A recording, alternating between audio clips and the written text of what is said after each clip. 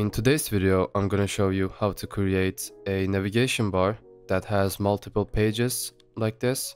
So when you click on those tabs, we change to different pages.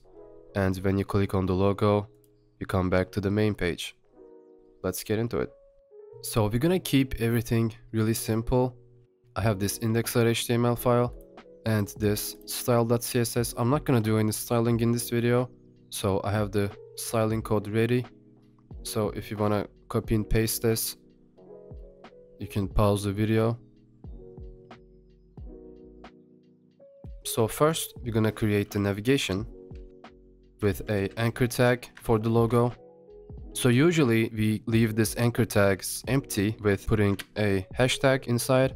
But to create multiple pages, you gotta put some HTML files inside this attribute. So we're gonna give this index.html which is this file. So that means when you click on the logo, it's gonna come back to this page. So let's create a unordered list with list items as well. So we are actually creating a usual navbar.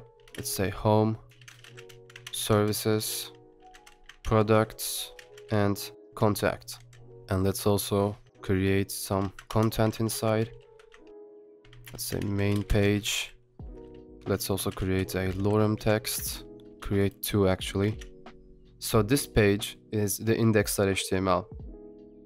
And to create other pages, basically going to copy and paste this one. But before doing that, let's quickly give those anchor tags their own HTML files. So let's give it a services.html, products, and contact.html. So we are going to copy and paste this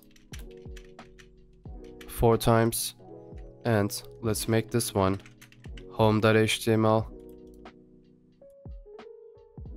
contact.html services and products so each one of those anchor tags have their own html file now so when you click on those as you can see in the url it changes and if we click on the logo it's gonna come back to the original page. But we can't see anything changing in here because we have the same content in every page. So let's change this. Like, let's make this shorter and call this services. Let's make this contact, make it a bit shorter. Let's make this home, make it even longer. And products, and there you go. So if you look at the URL, each time you click on something, we basically route to this page and it's changing. And if you click the logo, you come back to the original index.html file.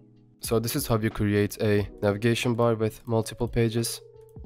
Thank you guys for watching and see you next time.